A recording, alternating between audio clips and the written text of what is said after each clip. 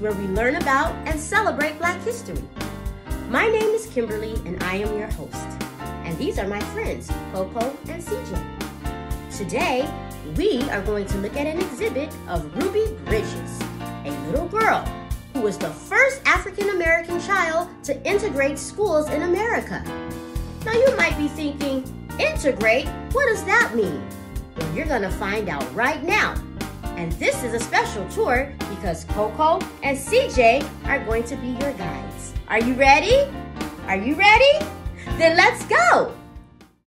This is Ruby Bridges. She was born in Tylertown, Mississippi in 1954. She had four younger siblings, and like all kids, she loved to play. She enjoyed playing softball, jump rope, and climbing trees. Like to do those things too. Me too. When Ruby was four years old, her family moved to New Orleans, Louisiana for a better life. At that time, America was segregated. To be segregated means to be separated by race. African Americans were treated very unfairly and they did not have equal rights.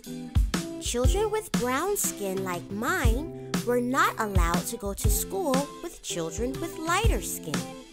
And the children with lighter skin had much better schools than the children with brown skin.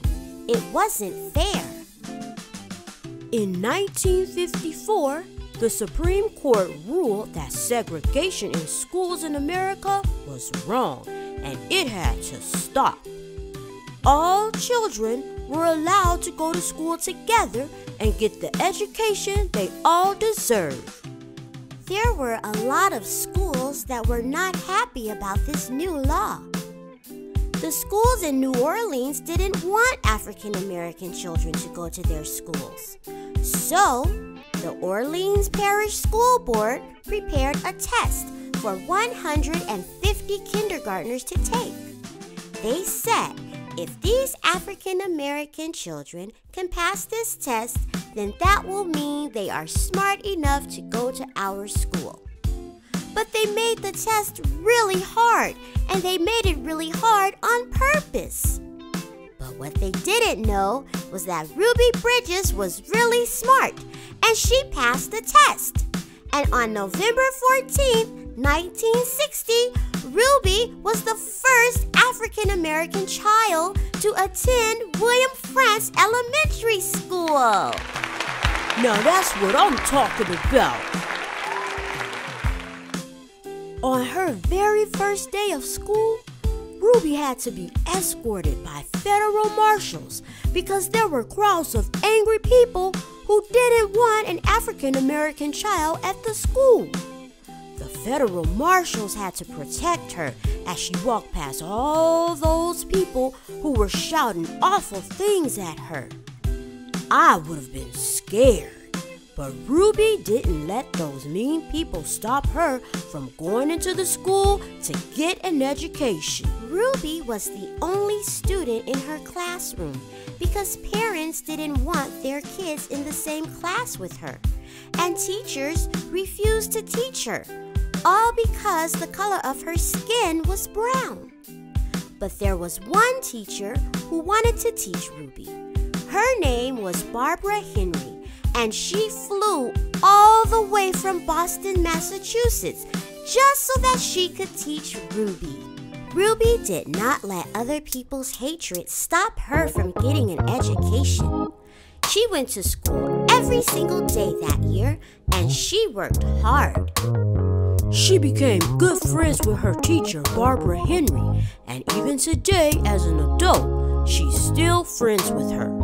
That's right. Today, Ruby Bridges has launched the Ruby Bridges Foundation, and she started an after school program in the same elementary school that she attended as a child called the Multicultural Art Club. I sure did. I used my experience to show kids that racism has no place in hearts and minds and that they should never judge people by the color of their skin. I shared my message with students all around the world to encourage them and to inspire them to work hard for their education. and that education is a right for everyone. Education is a right. Education is a right. Education is free. Education is. Education for you. Education for me. Every boy and girl deserves the opportunity to study and know, to learn and grow, and be the best that they can be. Education is a right. Education is a right. Education is mine. Education is a right. Is yours.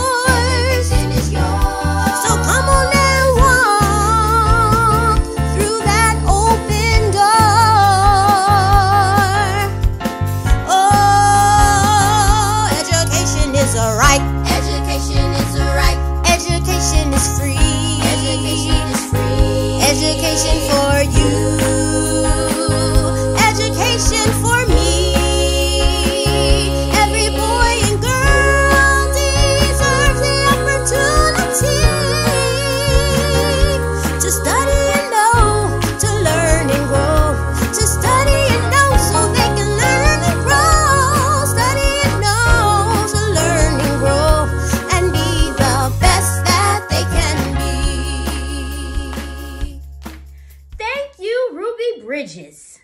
Well, friends, that's all we have time for today. This tour has come to an end.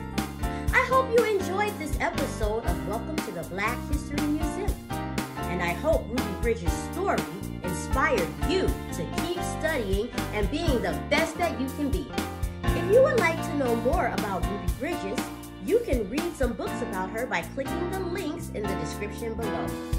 Be sure to tune in to where we will continue to study and celebrate Black history. And remember, you don't have to wait until February to celebrate Black history. At the Black History Museum, we celebrate Black history every day because Black, Black history is American history.